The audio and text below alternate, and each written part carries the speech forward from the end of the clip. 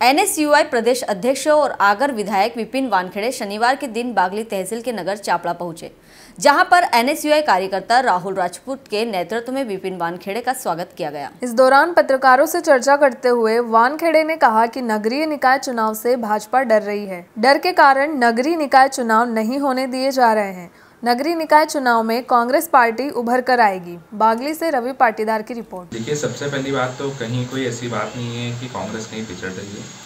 कांग्रेस लगातार आगे बढ़ रही है और आगे बढ़ते जाएगी।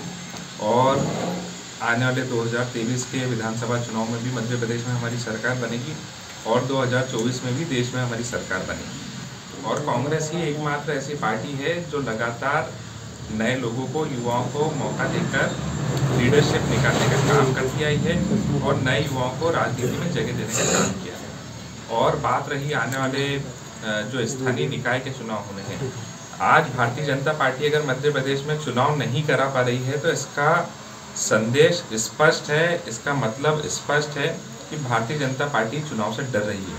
क्योंकि भारतीय जनता पार्टी को ये बात बखूबी मालूम है कि चुनाव होंगे तो उसके परिणाम कांग्रेस के पक्ष में आएँगे और भारतीय जनता पार्टी को हार का सामना करना पड़ेगा।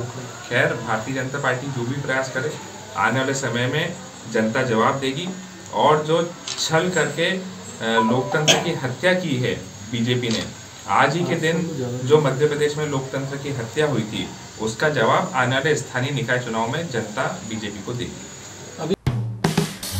फ्रेंड्स आप देख रहे हैं हमारा channel S W twenty four news हमारे सारे वीडियो सबसे पहले देखने के लिए आप हमारे चैनल को सब्सक्राइब करें और पास में लगे बेल आइकन को दबाना बिल्कुल भी ना भूलें।